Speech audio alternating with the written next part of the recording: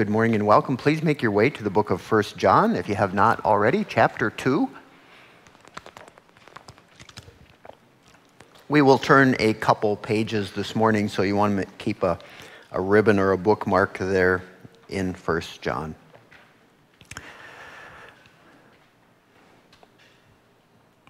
The book of First John is unique in many ways, but one thing that we notice that is characteristic of what the Lord is doing through our brother is as he teaches a subject and then expounds on it and introduces more things, well, then he'll come back to it and build more. So we see a lot of things introduced, expanded, and explained, and then gone back to, and that's the process, I think, with everything actually the Lord does as he brings us forward. So you're going to see some of that today. So as we focused a little bit more last week. We, well, we took a passage of Scripture and we looked specifically at part of it while introducing the part we're going to look at today. And today, well, we're doing that same thing. So if you have your Bibles open to 1 John chapter 2, let us read the passage, and we're primarily going to focus on verses 24 through 27 while introducing where the Lord is taking us next week, should he tarry. So 1 John chapter 2, verse 24, the Lord says, Therefore, let that abide in you which you heard from the beginning. If what you heard from the beginning abides in you, you also will abide in the Son and in the Father. And this is the promise that He has promised us eternal life. These things I've written to you concerning those who try to deceive you. But the anointing which you have received from him abides in you. And you do not need that anyone teach you, but as the same anointing teaches you concerning all things and is true, and is not a lie. And just as it has taught you, you will abide in him. And now, little children, abide in him, that when he appears, we may have confidence and not be ashamed before him at his coming. If you know that he is righteous, you know that everyone who practices righteousness is born of him.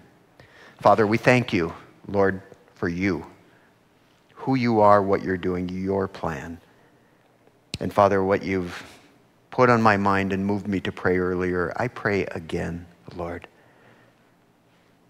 that for your good pleasure, Father, for your honor, that everyone would truly meet with you today in the fullest measure that you make possible. Lord, that you would be joyful. Your joy would remain in us, and our joy would be full. Father, we ask for all the things that you know are needful. We ask, Lord, that you make them happen. Father, I ask that you show us and explain them to us so we're willing participants as you continue to conform us into the image of your Son. Father, for your glory, we ask, thanking you in faith, in Jesus' name. Amen. Amen. So now we need to break these things down, and if we're looking for a title for the teaching today, is Let That Remain. There's really only two things that we need to take away from here, and all the things that are explained will be part of, well, understanding that is something is supposed to remain with us, and we're supposed to leave here knowing how that's going to happen. So, those are the two things within context of the teaching. Well, the greater book of First John, what is it about? Well, it's about the relationship of the redeemed, born again Christians with Jesus, right? Koinonia fellowship, First John chapter 1, verse 3. We defined as having all things in common with Him. Jesus being the example, right? The evidence of when that happens, you're happy. And you're happy because he's happy. We learned about that in, well, First John, as we prayed earlier, that his joy would remain in you. God is happy when his children are safe and abiding with him. And as a fruit, fruit of his working, you're happy. Joy, fruit of the Spirit. It's simple and profound at the same time. So, since the focus is on, well, relationship with Jesus, defined as having all things in common, we've previously at the beginning said the whole book of First John is about things that either help to make that happen or hinder, prevent, or keep that from happening. Helping? Oh, abiding. Boy, is that going to come out clear. In the book of First John, that English word abide and its variants, 20 times in 15 verses. That's a lot for a little book. That, that signals that this is a theme, right? And what does abide mean? Well, it means remain. Very good translations, literal translations will translate it. Even in this passage that we're going to look at here, let that remain. In this one, let that abide. Greek word meno. Come to the Lord and stay with the Lord. Now, that, this is the main, what? Well, we'll get into that in a moment. But all of it, again, is the context with this is the kind of relationship that the Lord has made possible and wants and is working us towards. That's why He has us here. That's why we're talking about this today. He's prepared us for this moment. Things that help, abiding. Things that hinder, anything else. In a broad category, sin. Anything that God doesn't want. It's, well, it's counted to walking in darkness. But the Lord says, walk in the light as he is in the light, and we have fellowship with one another, and the blood of Christ cleanses us from everything we did wrong, all unrighteousness. Okay, so moving quickly through this, we saw in our beginning of chapter 2, the first two verses, that only Jesus can make this happen, not just what he did, but who he is right now. He's our propitiation, he's the only one in that that makes it happen. And then the Lord gave us through the teachings of our brother in chapter 2 two things that would be clear evidences if we have the kind of relationship, if we're letting the Lord make the kind of relationship that He wants us. And those were first one, obedience. If we keep His commandments, by this we know that we know Him, and love for the brethren. So, what is true of Jesus, if we're connected with Jesus, becomes true of us. So, helpful questions are this Do you think that's true of Jesus? Did he keep his Father's commandments? Well, yeah, we'll see it again. I'll, we'll chapter and verse it for you. And did he love his brethren? Well, yeah. Greater love has no man than this, that he lay down his life for his friends. So, there it is. And when we're abiding, connected to Jesus, what's true of him becomes true in us, just as when a branch abides in the vine, it bears the fruit that that vine is capable of. So here we are today with a little bit more explanation, a little bit more encouragement. And it, well, it starts out in this verse, verse 24. Therefore, it connects us to what we looked at in more depth last week. Therefore, well, therefore refers to something that you and I are subject to as long as we're here on this earth in this body. And that is the workings of the enemy, Satan, through human beings to, well, do things that are contrary to God's will to take God's people and deceive them, lead them astray. And where does it happen most effectively? Where's the focus? And we gave more support to this last week. It happens in the church. People come in from outside into the church, and they don't represent themselves as, your attention, please, I'm working for the enemy. They represent themselves as working for Jesus as his, right? False apostles.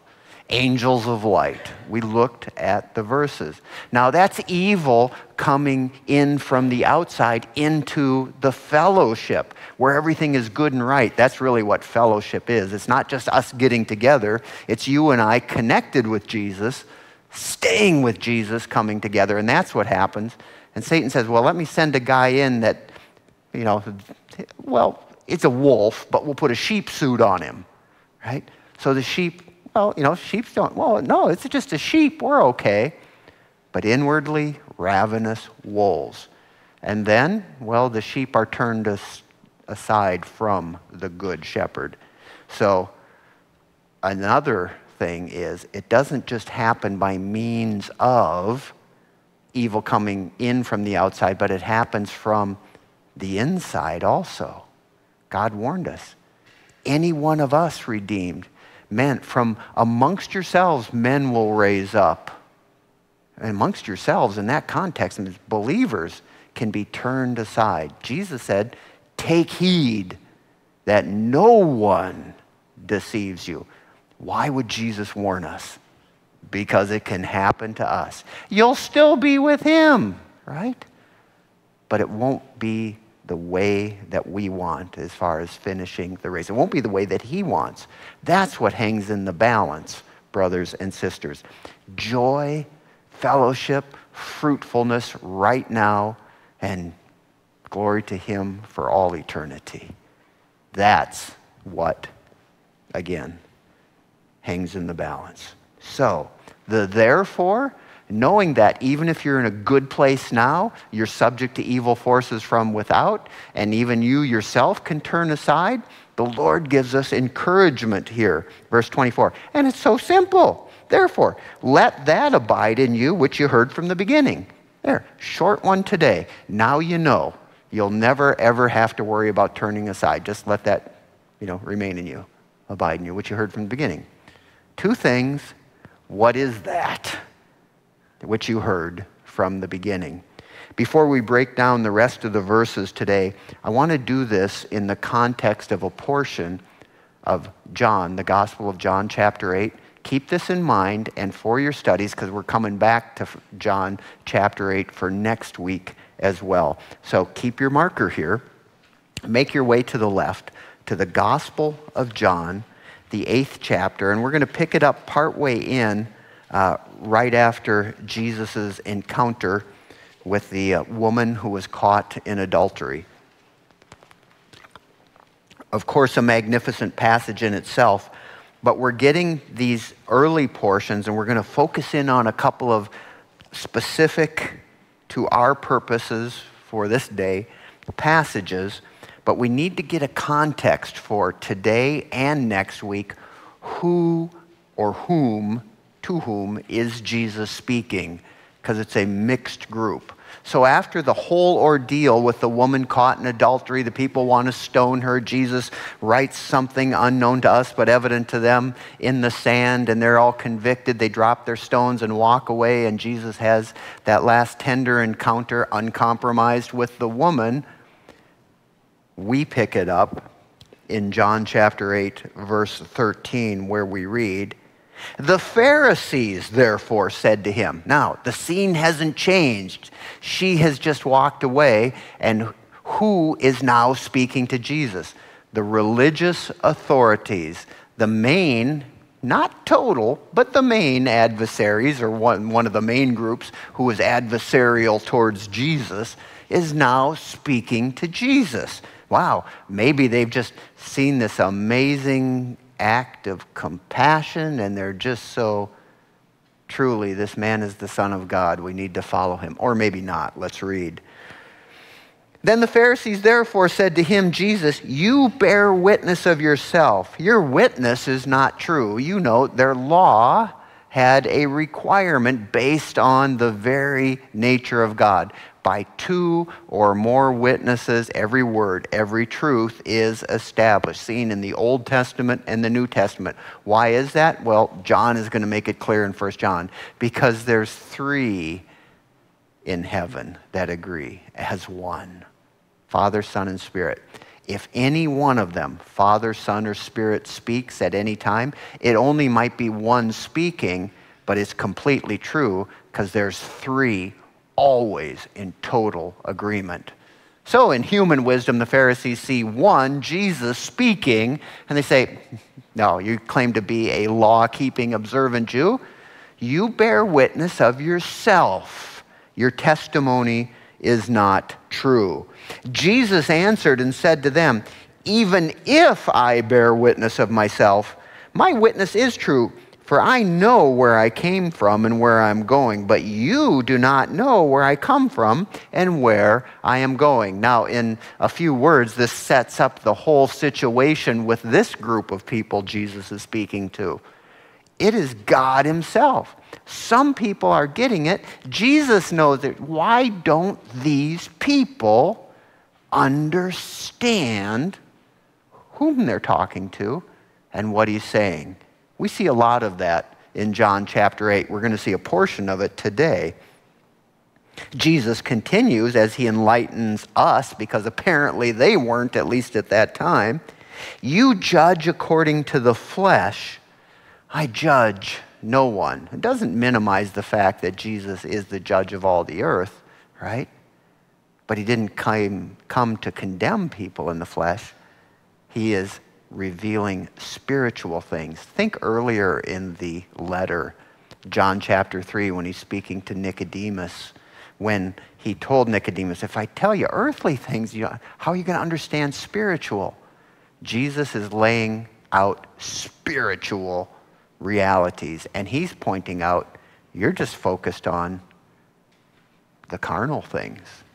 You know, kind of like, I'm from above, you're from below, sort of thing. You judge according to the flesh, in verse 15. Jesus said, I judge no one, and he's referring in the flesh at this time. And yet, if I do judge, my judgment is true, for I am not alone, but I am with the Father who sent me spiritual truth. I'm not here by myself. Hey, for our abide study, that begins to show us the reality of Jesus with the Father that he's moving us towards. Sometimes we feel alone. We know we never are alone. But you know, when we're in a right relationship, it's like, what do you mean? I'm not alone. He's, he's here with me.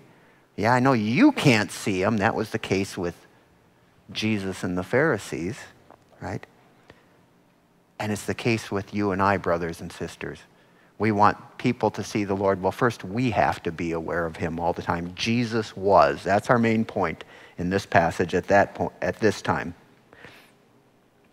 Jesus continues It is also written in your law that the testimony of two men is true. I am one who bears witness of myself, and the Father who sent me bears witness of me. Then they said to him, Where's your father? Again, their minds are not open to spiritual truths. They just look, there's just one of you. Where's your dad? Right? That's what they're saying. Jesus answered, You know neither me nor my Father. If you had known me, you would have known my Father also. Last week we looked at the principle. If you deny the Son, you don't have the Father either. If you have a different Jesus, which alters it all from the true Jesus, you're not serving God the Father either. You can't serve one and reject the other. That's an aspect of what Jesus is teaching. So, again, I'd like to look at verse 19. They said to him, Where's your father? Jesus answered, You know neither me nor my Father. If you had known me, you would have known my Father also. These words Jesus spoke in the treasury, an area of the temple complex, as he taught in the temple, and no one laid hands on him, for his hour had not yet come. Many people try, right? But the Father is controlling everything. This is also an aspect of those who abide in the Lord, right? People are going to come against you, but no one is going to short circuit the Father's plan or timeline for you. In verse 21, we continue. Then Jesus said to them again, now we're here, as I said earlier, who's he talking to? There's a crowd of people here, but it's the Pharisees whose eyes are closed, whose spiritual understanding is blinded at this point. I'm going away, and you will seek me and will die in your sin. Where I go, you cannot come. So the Jews said, Will he kill himself because he says, Where I go, you cannot come? And he said to them, You are from beneath, and I am from above. You are of this world, I am not of this world. The reality of a spiritual person, in this case Jesus, speaking to an unspiritual person. Christian, this is the way it is when you speak to unsaved people. You can tell them spiritual realities, but they cannot, apart from God's enabling, receive them.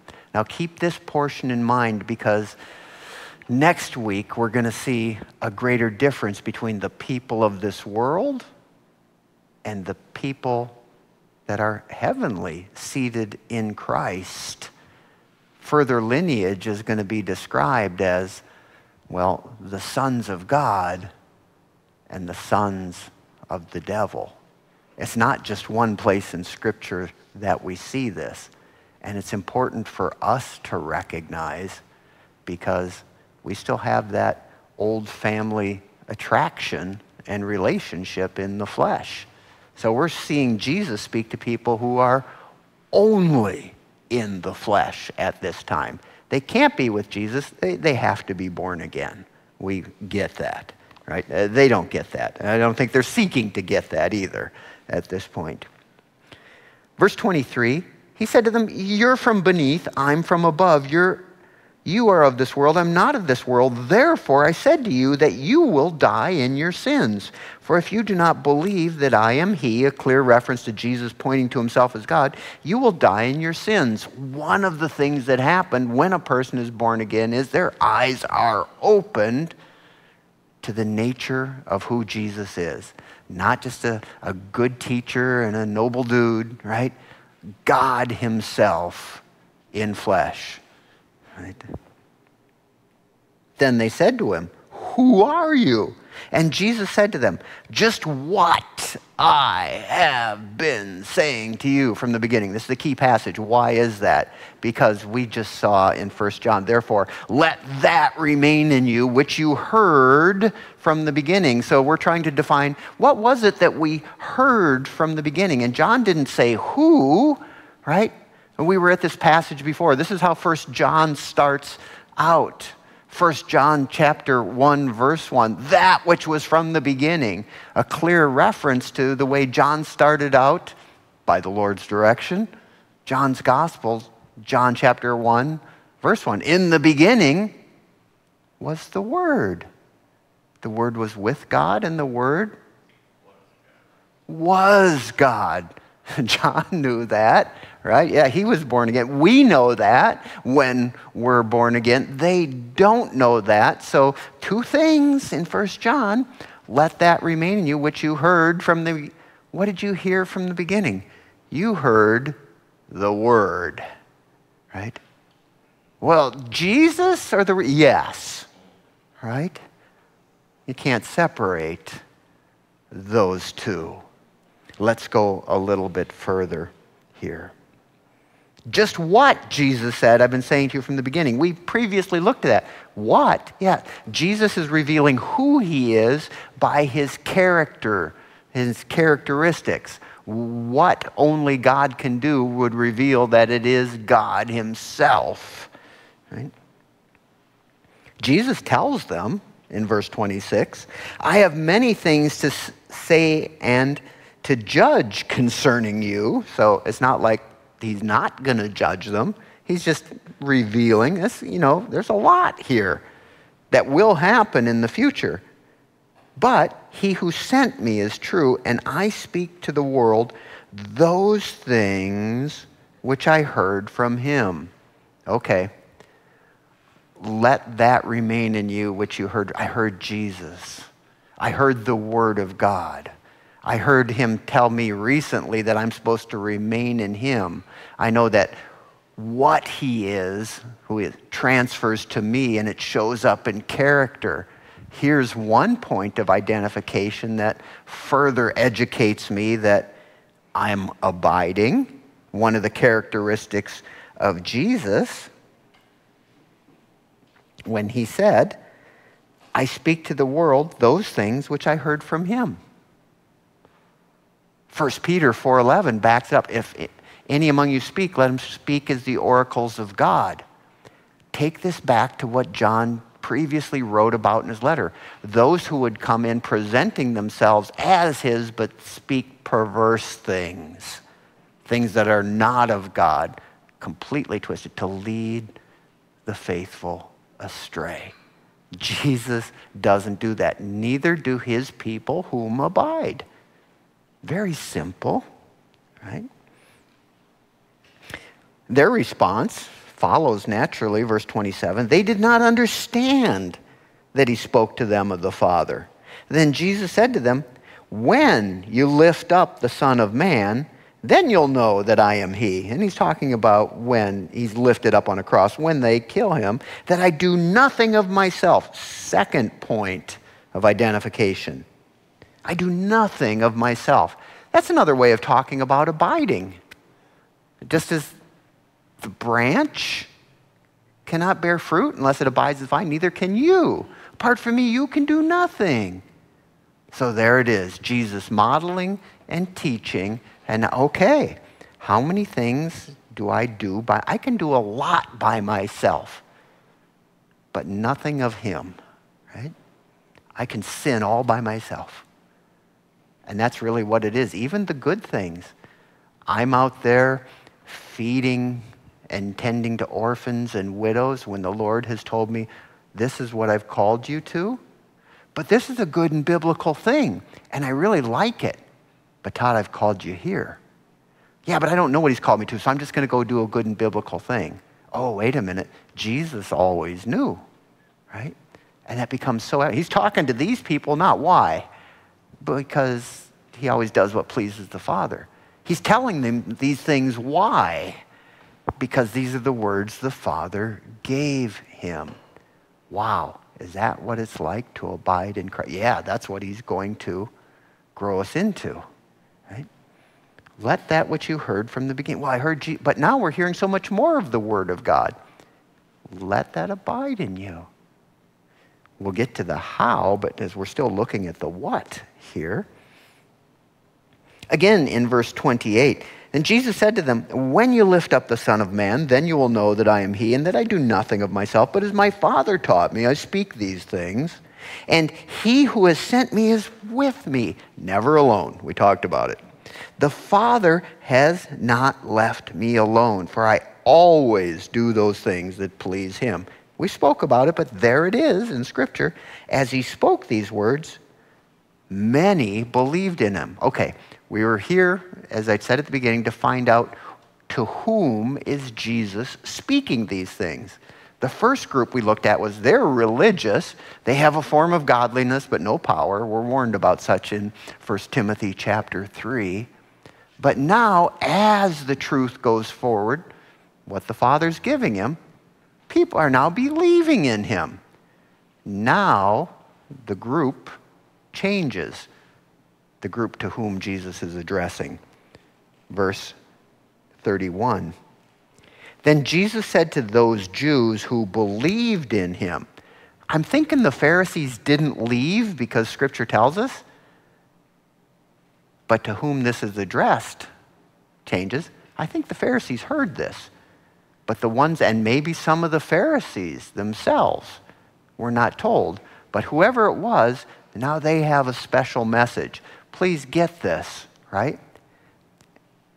It's necessary to be born again, to understand the Word of God, to know who God is. But as we say in modern vernacular on late night TV, or at least they used to a couple decades ago, but wait, there's more. Please catch what comes next here. Then Jesus said to those Jews who believed in him, If, conditional, brothers and sisters, if you abide in me, excuse me, if you abide in my word, you are my disciples indeed, and you shall know the truth. The truth shall make you free. How? Wait a minute, we believed you. Is that not enough? No, believing is essential, but abiding is necessary if we want to be free of all of that which would enslave us. My own desires that take me apart from the Lord's will, the deception that comes from the enemy through other people and other sources. It's if. If you abide, please hear what the Lord is saying today. Abiding is not forced on any of his believing children, right? But it is his good plan. It's what he'll point us towards for those who have believed. It really should be, as we've said before and now say again, it's job one, it's foundational. Forget about the other ministries if they don't happen as a result of abiding.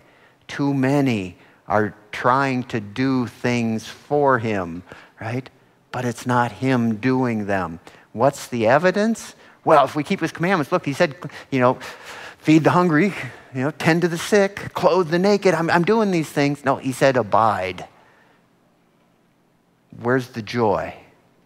How are you finishing? How do you think about other people? These are the evidences, right? If we keep his commandments, it'll result in love towards the brethren, right? So Jesus said, if, right? You abide in my word. So here's one of the things, because we're here trying to determine exactly what the Lord means. Let that which you heard from the beginning. What did we hear from the beginning? Well, that which was from the beginning was God Himself. Oh, and Jesus was there, and well, we became believers by hearing His word, right? Faith comes by hearing, and hearing by the Word of God. So here's a principle without just taking one passage. We came to the situation of being redeemed in Christ by believing His Word and not turning from it. We will continue and grow only by remaining in His Word. Oh, I learned something, but now I'm doing. Wait a minute if you abide in me and my word, you are my disciples indeed. Do you get the tie in to disciples? A disciple is a learner in order to be not just know what the rabbi or the teacher knows, but to become like the rabbi, like the teacher. We're Jesus' disciples, not just to learn to know what Jesus knows. We want to learn that so we become like Jesus.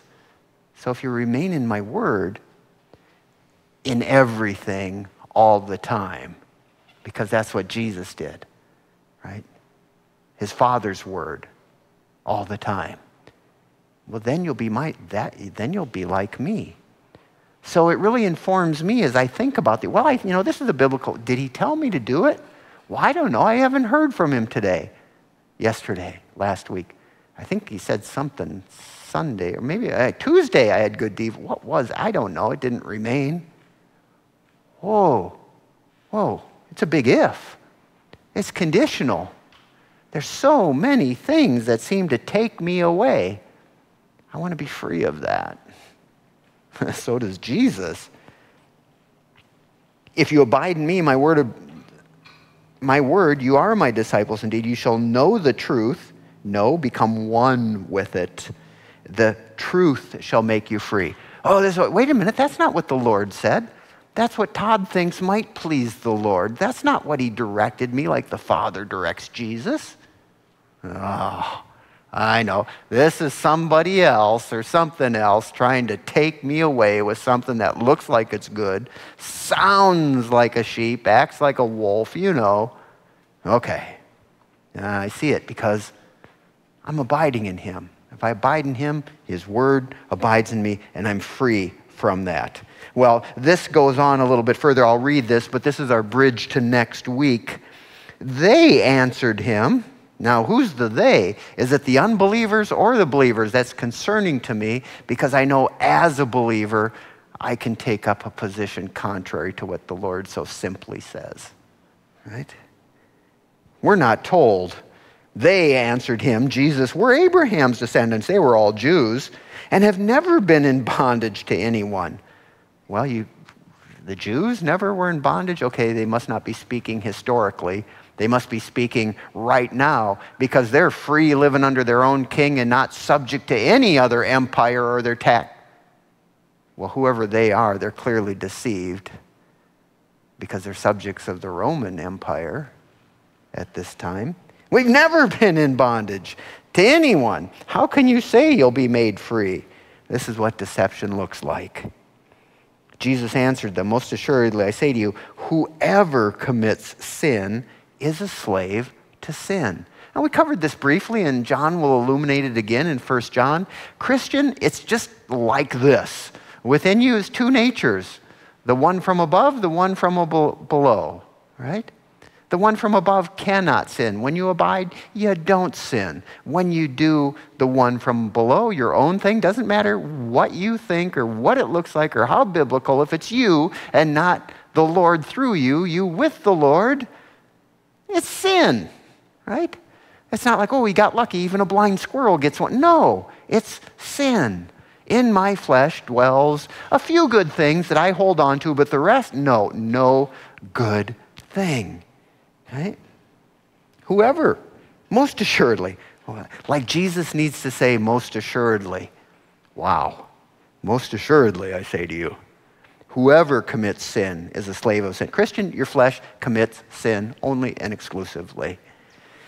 And a slave, that's who I and you are as Christians if we walk according to the old nature. We're in bondage that. If you've ever noticed a struggle to abide, I was with him this morning, now I'm here, now, oh Lord, I'm coming. There it is, right? We're beginning to understand more the scope of this. A slave does not abide in the house forever, but a son abides forever. Sons of God, that's next week. Therefore, if the Son, the Son, Jesus, makes you free, you shall be free indeed. That which is born from above does not sin and is not in bondage. And if we abide there, neither are we. So that's the context of John chapter 8. Remember that for today and for next week. We will return. But make our way back now, please, to 1 John chapter 2, verse 24. All this setting up to understand these next couple verses. The therefore, trouble can come in from out and can rise up from within. It can look like Jesus, but it isn't Jesus. And a simple definition of Antichrist, not the Antichrist, but anything else that takes the place of Christ, is anything that presents presents itself as being of God or done for God that is not done by God Himself. Anything that represents itself as His that He isn't doing is Antichrist. It's another Christ and it's opposed to Christ, as we talked about last week. And it can come in from without and from within, and therefore we're told, let that abide in you, which you heard from the beginning. What's that? Well, the Word of God. Jesus and His Word, right? If what you heard from the beginning abides in you, you also will abide in the Son and the Father. There's the scriptural support for today, what we already talked about. Anything that I'm contemplating, well, I came up with this all by myself. That's not of God didn't work that way for Jesus. Well, I don't know. Well, how about we ask? How about we seek? How about we wait? Clearly, he has promised. Okay. Well, we're already getting into the how to. We're still stuck in the what, right? And this is the promise that he has promised us eternal life. John chapter 17, verse 3, now famously and often repeated, Jesus said, And this is eternal life that they believe in you, the one true God, and in your Son, Jesus, right? Believe. That they depend in you, depend, that's what believe means, exclusively in God, the Father and the Son. That's it. Well, I think I can go do this. No, that's not abiding, right? I'm depending on God. I don't know what God says. Well, ask Him and depend. Right? But He told me this, and I, I, I don't see how I can make this happen. That's you. If He said it, depend on Him. You will see it happen. Stand still, and you will see the salvation of God. That wonderful example from the book of Exodus as the Lord parted the waters through Moses. This is the promise. God said, Oh, he'll not leave you nor forsake you. Well, now that you're always with me, I'll just depend on you. And everything you want to do, you'll make happen. And it won't be sin. I'll be walking in the light. This is pretty great. Verse 26 These things, says the Lord through our brother, I've written to you concerning those who try to deceive you. That's all the way back a couple verses to the Antichrist, just recognizing that it comes because my own understanding in the flesh doesn't, well, I can't, man. That was Wednesday's exercise that I shared briefly. We're trying away for a month. What about this? I can't just get with the Lord for a month. What are you saying, man? You can't abide? Well, no, I can't, but the Lord, oh, wait. Oh, wait. How about this? How many wonderful, in human terms, teachers, it can't be wonderful if it's not the Lord's teachings, that, well, what's, you know, how do I know if I'm on track with the Lord? Well, are, are you mostly doing what the Lord says? Yeah, it seems like, and I've heard it broken down in all kinds of different ways that manifest in the physical, but wait a minute. When you're doing what the Lord says, it's Him through you, at that time, you're good with the Lord. When you're not, you're not. It's that simple, but we don't want to buy into that. I heard, I shared this with brethren. I heard in a dramatized account somebody's testimony uh, story of a Christian who was apparently born again, had time and got into the most heinous things, back and forth between drug culture and adultery and murder and all the bad things. That's what we think sin, any sin, is a bad thing, right? But in the course of his telling, he said, I never surrendered my, well, my will to do what I wanted. I never let go of that. Well, if that, I can always do this. He never brought that to the Lord and said, I, I need this gone. And it wasn't until he did, right? And it, it spoke so loudly to me because as long as I keep that option open, yeah, you know, I'm mostly good with the Lord. I think I you know, did my devos and now I'm a little comfortable now. It's like, what do I want to do now? How do I want to relax? Why? Because in his presence isn't fullness of joy because the things of God aren't all that, or I wouldn't be looking for something else. Doesn't mean that I go and live in a cave and shave my head and wear wool and don't speak to people. Brethren have tried that. I'm in the world, but I'm living for Jesus, and well, He's living through me. It's no longer I who live. That's what abiding looks like. It's not the absence of things, it's the absence of self driving the bus at any given point.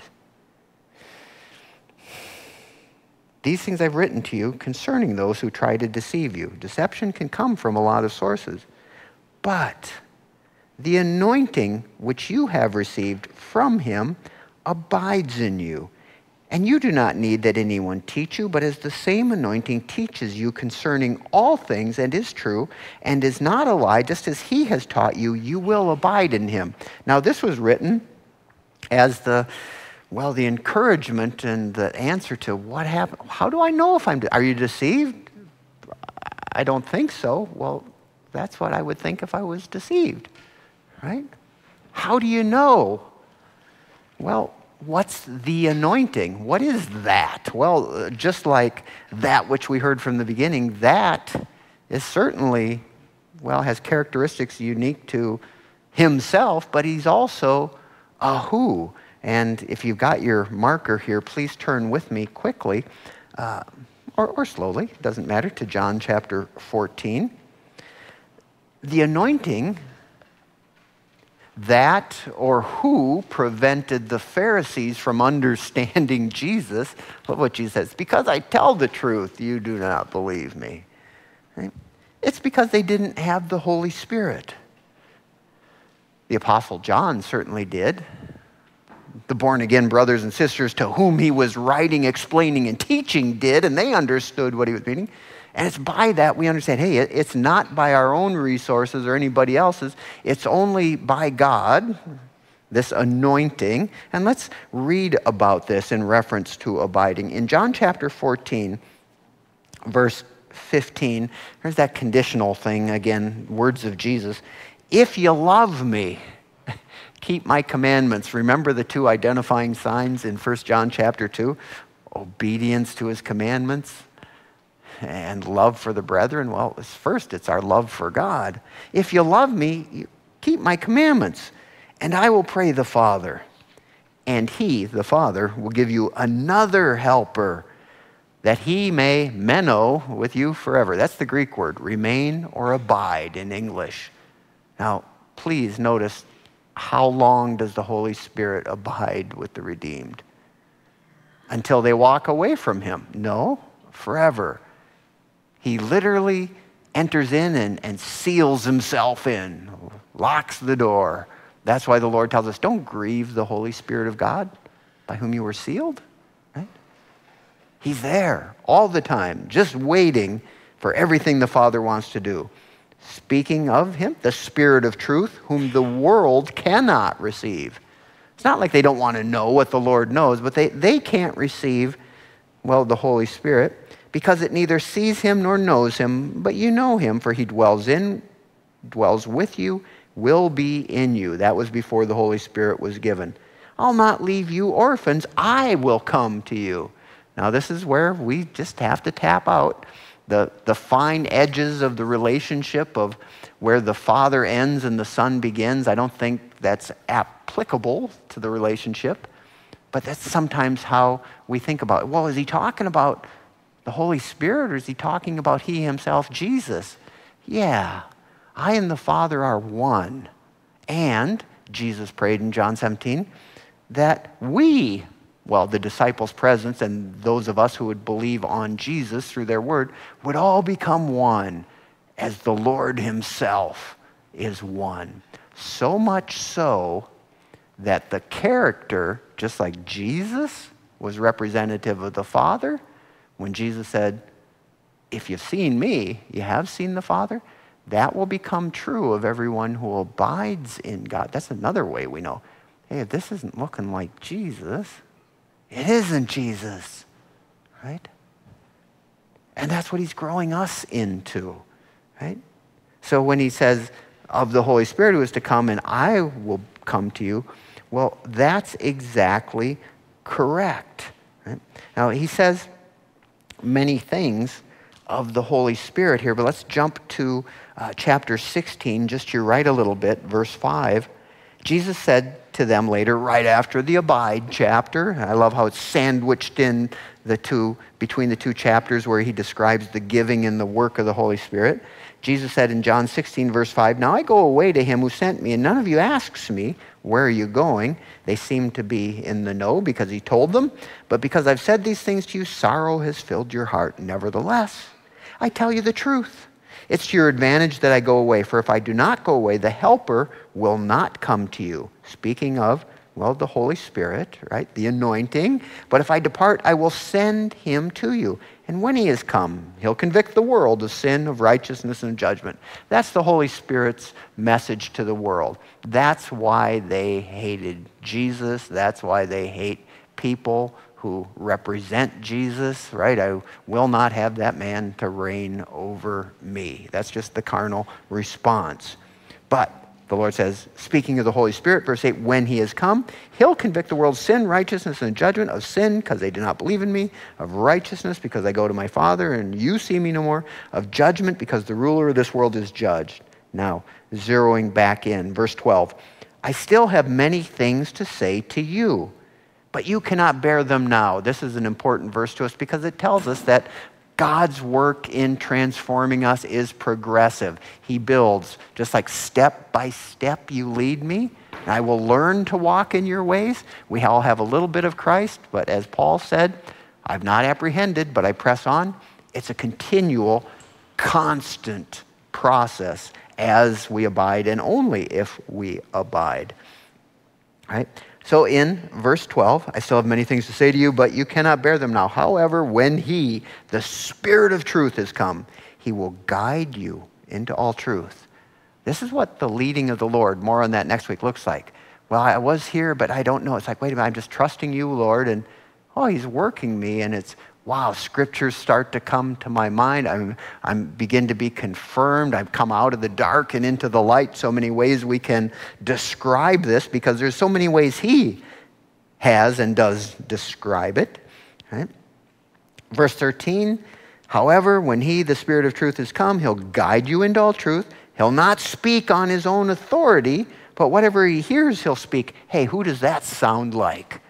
From John chapter 8. Well, Jesus. Yes, that's exactly how close they are. So, what's the evidence of the Holy Spirit working in you, me, us, when we speak, if we're abiding? Well, I heard a good one last week. Here it is.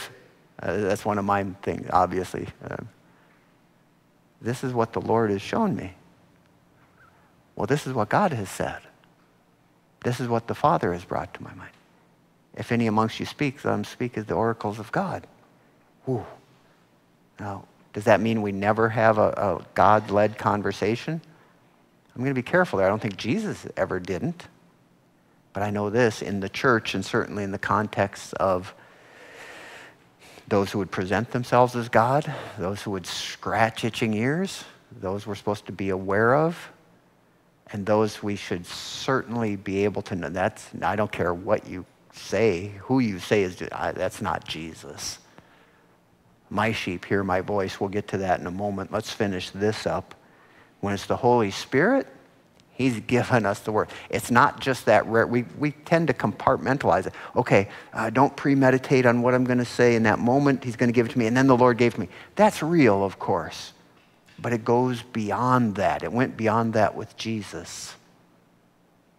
Certainly, it'll go beyond that with us we would always speak in accordance, in agreement with the Lord. I think that's the evidence. Okay, so speaking of the Holy Spirit, I'm backing up yet again to verse 13. However, when he, the Spirit of truth, has come, he'll guide you into all truth. He'll not speak on his own authority. Whatever he hears, he will speak, and he'll tell you things to come. Because God knows the end from the beginning, and he reveals things as he wills.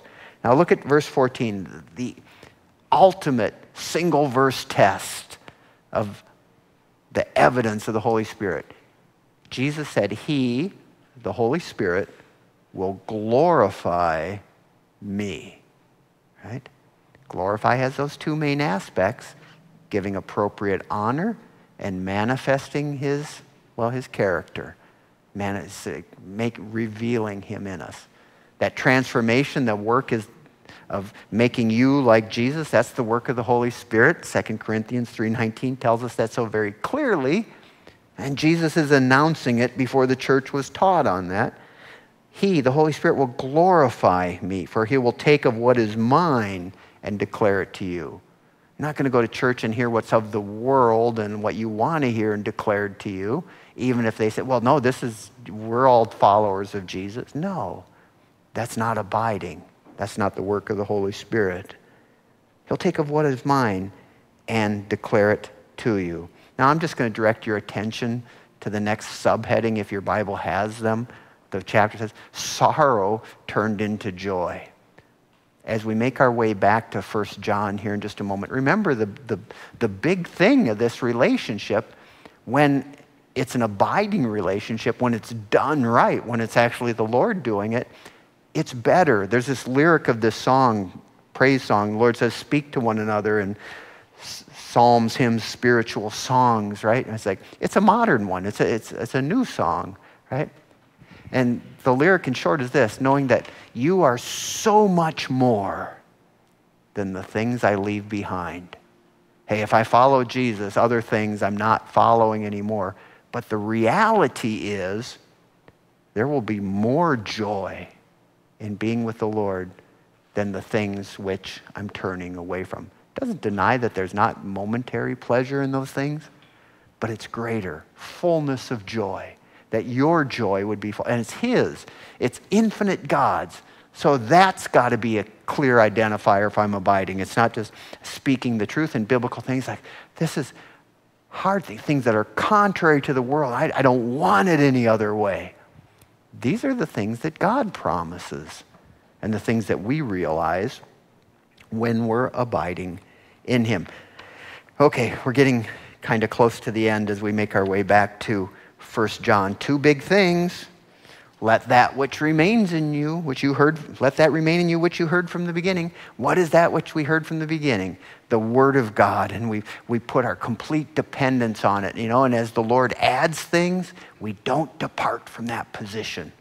We didn't learn them and now I go off and do something else. No, that's not letting that remain in us people are going to try and deceive us. They're going to present themselves as Jesus, Antichrist, Antichristoi, as we talked about last week, the plural form, not the Antichrist, but anything that re- represents itself as the Lord that he's not doing, whether it's somebody else or me, that's Antichrist, stands in the place of Christ, usurps his position, right?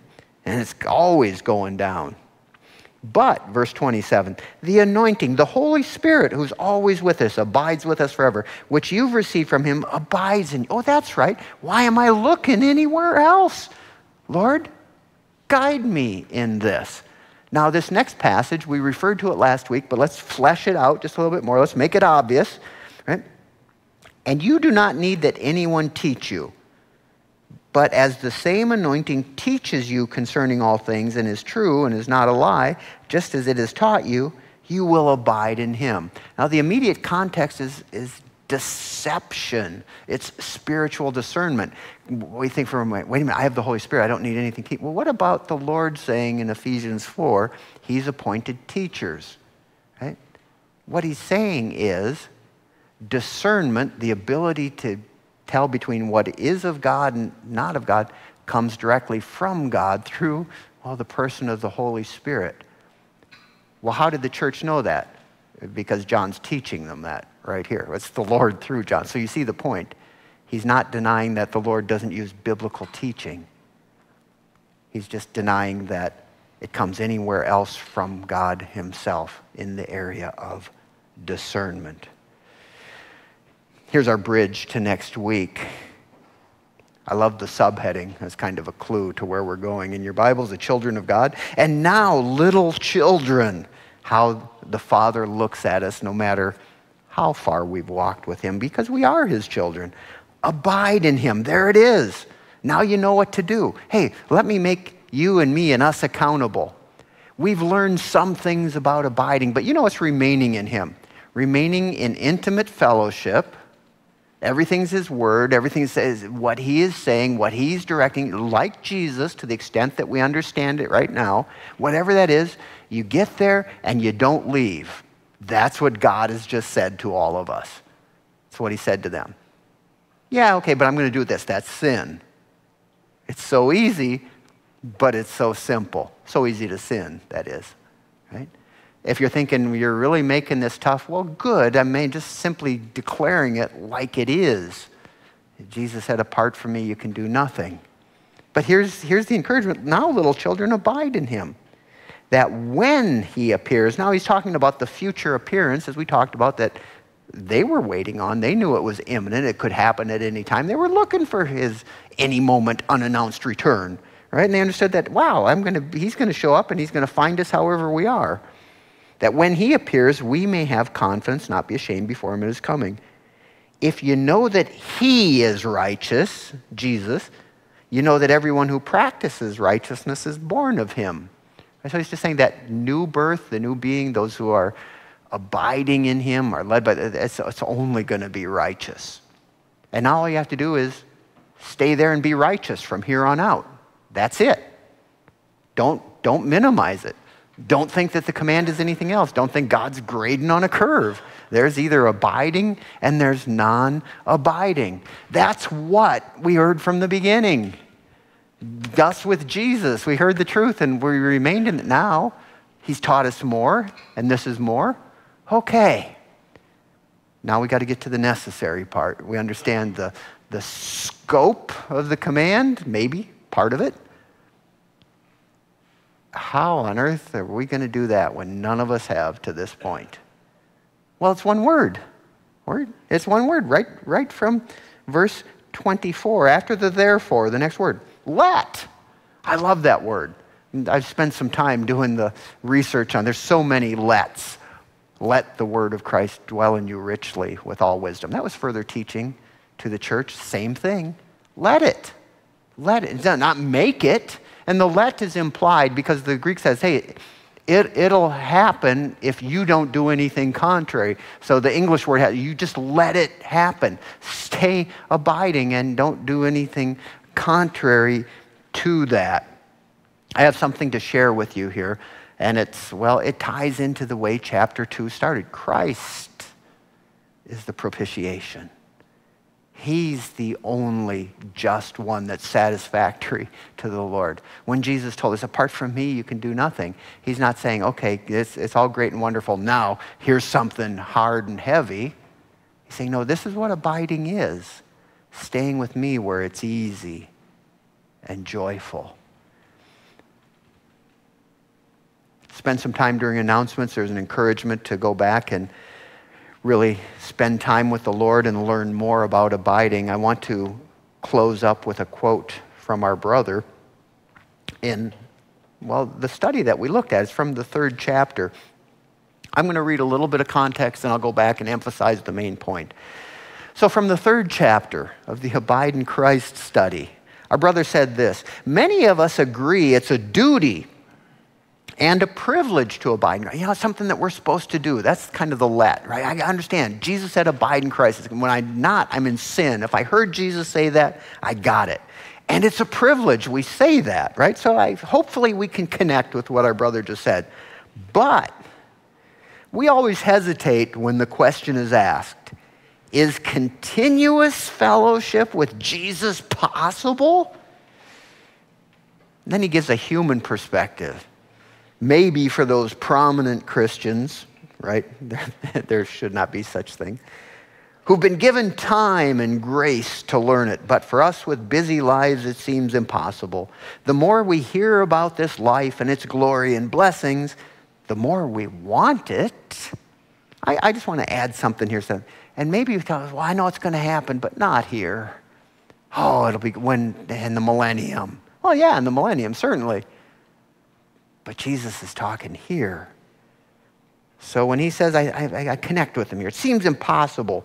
The more we hear about this life and its glory and blessing, the more we want it. But we are too weak and unfaithful. We'll never achieve it. Yeah? However, abiding in Christ is meant for weak Christians as well, especially because they are weak. Hey, there's something I heard once like, when I am weak, then I am strong, and it's His strength in us. So I love that our brother wrote, because they're weak, you might even say, because they're humble, right? Wait a minute. I can't do this.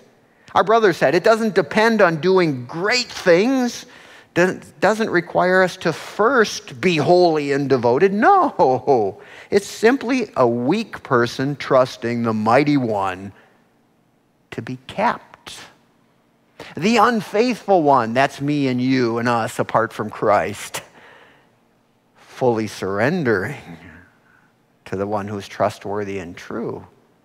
Now, this part.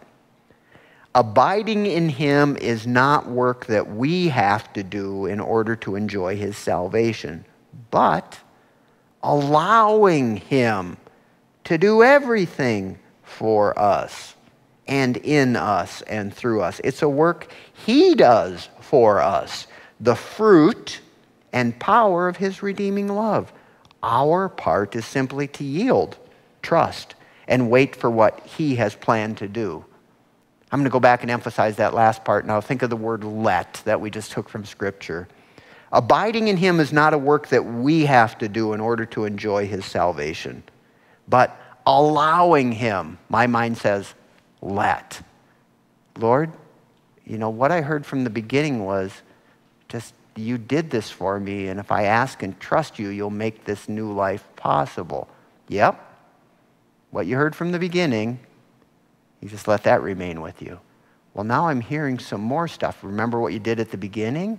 Yeah? Do the same thing. You said, I couldn't do this, but if I abide, bear much fruit. Yep. Okay. So when my brother says, allowing him to do everything for us and in us and through us, let. The Lord's saying, just, just, all these things are true. If you abide in me, if you let me make that a reality, oh, I'll be honored. I'll be glorified. I'll be joyful. My joy will be, and you'll be fruitful. All those things. Let me make it happen. Let me make it a reality. Our brother finished up with it's a work he does for us, the fruit and power of his redeeming love. The fruit and power. It is the power of his love that produces the fruit of his love in us. Our part is simply to yield. Again, my mind says, let. Just let him do it. Trust and wait for what he has planned to. That was only just one little bit of what we spent some time. It's good to review these things now and again because I'm hearing it right from his word. Let that abide in you, which you heard from the beginning. Well, he's taught me, you and us, some more things. I just got to ask, trust, and wait, and we'll see it. There's a million things that he's made me aware of, more hypersensitive to, that I'm it's like, well, gonna go there? Or gonna stay with me? Lord, I want to stay with you, but I can't do this by myself. So let's ask. Father, just to thank you, to praise you, to honor you by believing that your word is true. Lord, we know it's true for all of us that you have saved, your spirit is in us. We have your anointing because we have you telling us this is the good way, walk in it. This is the truth. Let no one deceive us. Father, we have heard your word confirmed by your spirit, and we realize the ability to do it doesn't come from us. But you never said that, Lord. He said to come to you and to stay with you, to take your yoke. The Father in you did the works, Lord. It's you and us who will do the works as well. If we seek you, find you, ask you, trust you. Lord, I know there is so much more to learn about you and how you work, but you've given us these things today. And you desire it and will make it happen.